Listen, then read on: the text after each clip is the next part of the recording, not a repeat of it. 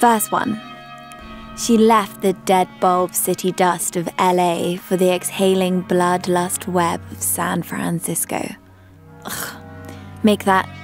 To her, San Francisco sketched out a manuscript of surrendering, pulse beating, chill poundings. A prologue. She foresaw the city's nucleus, a fortress of living heaven, a fiction city played out in black and white applause. Wasp heated Bohemia in the dialogue of Ginsberg and Kerouac. Mexican angels and mule mountain tales. Listen to me. Too contrived. Verse 1 She came to San Francisco in trains of foreign boned passion, passing moors of hollow woe and chicken croaking lands of suburbia, to a fish town of smoking longings and radio fantasies, rickety wooden trams and dingaling mission and first. She discovered with ordinary hope a pain to love like the ordinary people in the city.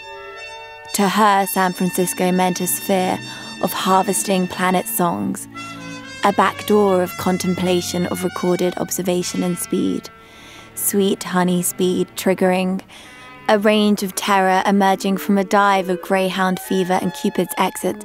Ugh, no, too sentimental. L- let me try that again. Verse 1 She embraced San Francisco. To her, it was a journal of single lines, verbs, and rapid trills nerve sculled, modern motored A minor, shake, shake. A flashlight of whiskey walled saloon bars, elegantly backlit, containing transfixing thanks.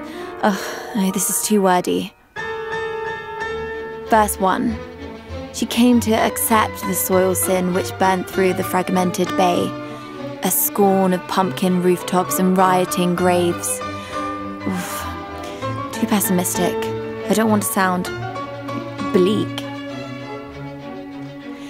Verse 1 She was the depth and valleys of the city she came to love.